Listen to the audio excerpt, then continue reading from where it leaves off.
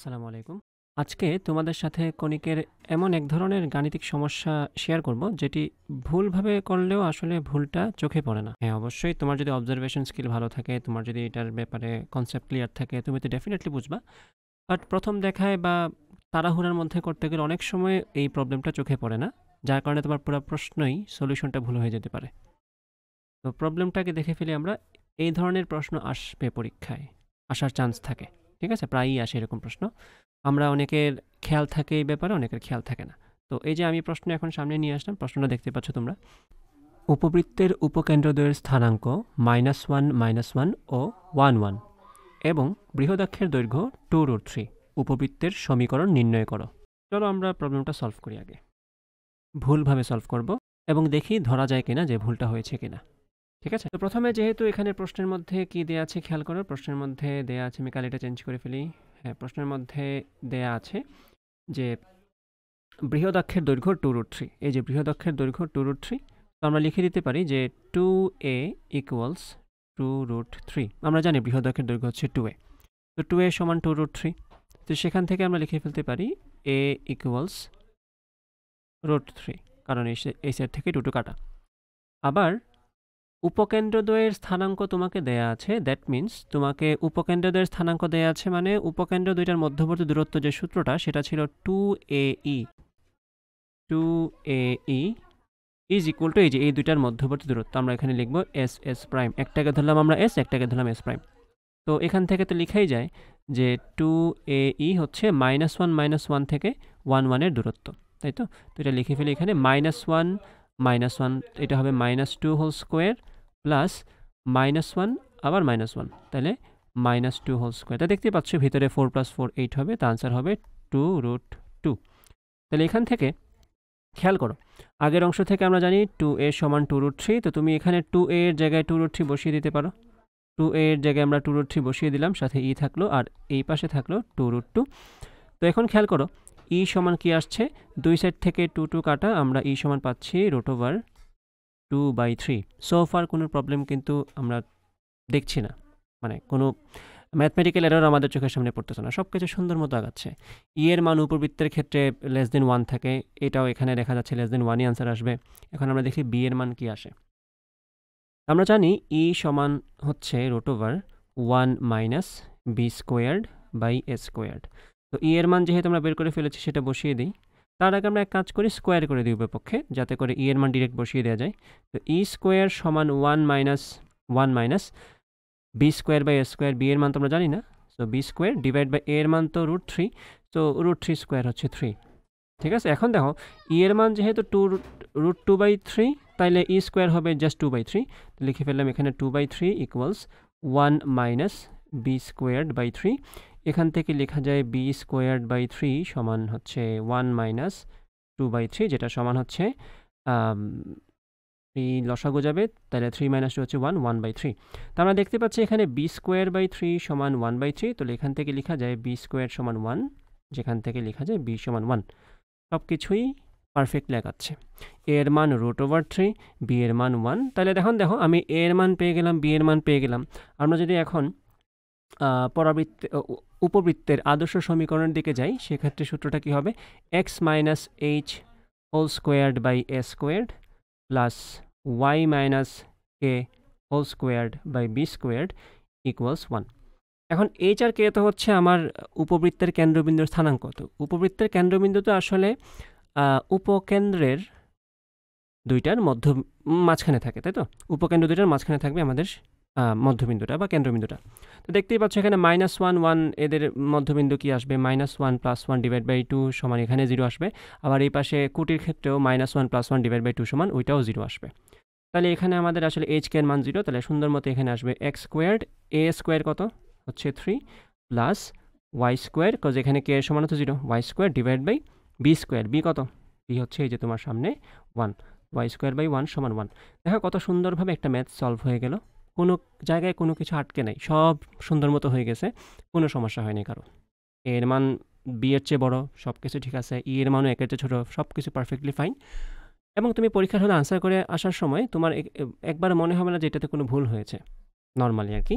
অবশ্যই যাদের concept clear তারা তো ডেফিনেটলি বুঝবে এখানে ভুলটা কোন জায়গায়। তো নর্মালি এরকম আনসার করে দিয়ে আসার পরে তোমার কিন্তু কোনো সামনে খুব একটা বেশি এরর চোখে পড়ছে না। তাহলে এররটা আসলে কোন জায়গায়? এখানে ভুলটা কোন জায়গায় হয়েছে? ভুলটা বোঝার জন্য তোমার একটু চিত্রটা খেয়াল করতে হবে বা গ্রাফটা একটু চিন্তা করতে হবে। খেয়াল করো মাইনাস ওয়ান মাইনাস ওয়ান আর ওয়ান ওয়ান এই যে দুইটা উপকেন্দ্র, এই দুটো উপকেন্দ্র আসলে অক্ষরে, এই দুটো উপকেন্দ্র যদি আমি বসাই গ্রাফের মধ্যে সেটা কোন জায়গায় আসবে একটু খেয়াল করবা। আমি অন্য একটা উইন্ডোতে চলে যাই তোমাদেরকে দেখানোর জন্য। খেয়াল করো, এই হচ্ছে মনে করো one minus one minus one এই হচ্ছে মনে করো এই যে দেখো ওয়ান ওয়ান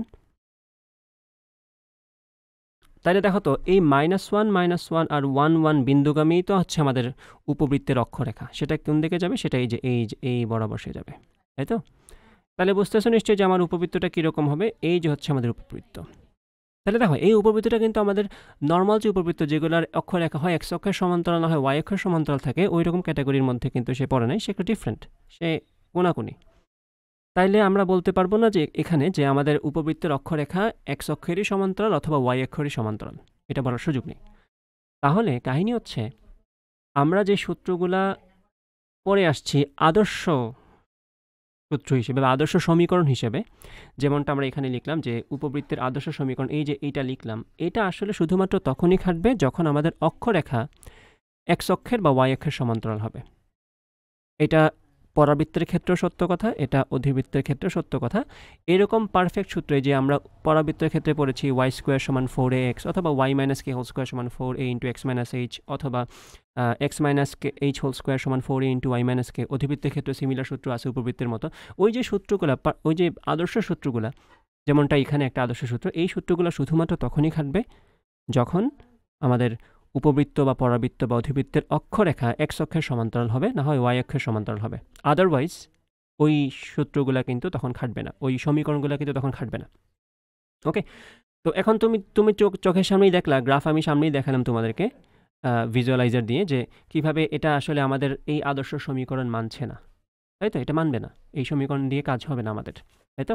তাহলে আমাদের এখন এই ম্যাথ সলভ করার একটা মানে অল্টারনেট ওয়ে বের করতে হবে। যেহেতু এই সলিউশন দিয়ে কাজ হচ্ছে না, এই এই এই প্রসেসটাই তো এখানে ভুল। এই যে আমরা ধরে নিয়েছি যেটা আদর্শ সমীকরণ, সেটা তো ধরে নিয়েটাই আমাদের ভুল ছিল, তাই তো? তো এখন আমরা কীভাবে সলভ করব? এটা সলভ করার জন্য আমাদের একটু এই জায়গায় খালি করতে হবে। আমি আশা করি তোমরা একটা সূত্র জানো, ভালো মতো একটা সূত্র পারো।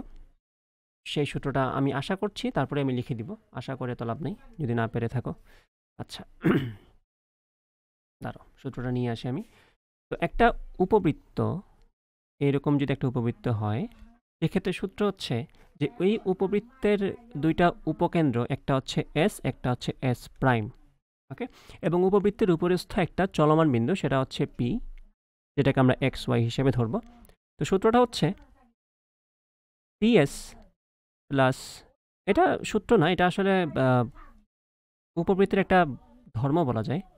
পিএস প্লাস পিএস প্রাইম একটা প্রপার্টি এটা PS plus PS prime will always be equal to the major axis অথবা পিএস প্লাস পিএস প্রাইম সবসময় এই যে প্রধান অক্ষ, বৃহৎ অক্ষ সেটার সমান হবে। অর্থাৎ বৃহৎ অক্ষ কত? টু না? এই যে টু এ এইটার সমান হবে। এটা তোমাদের মাথায় রাখতে হবে, এই, এইটা, এটা খুবই কাজের একটা জিনিস উপবৃত্তের ক্ষেত্রে।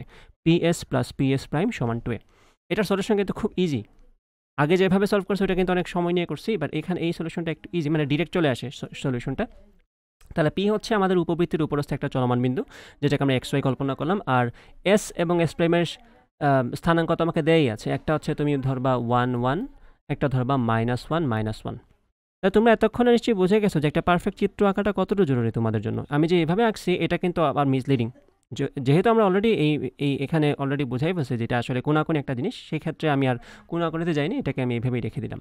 বাট আশা করি তোমরা বুঝতে পারছ ব্যাপারটা, এইভাবে কেন আমাদের করতে হচ্ছে ম্যাথটা তো এখন তো বুঝতেই পারছ যে পিএস প্লাস পিএস প্রাইম তো ইজি জিনিস।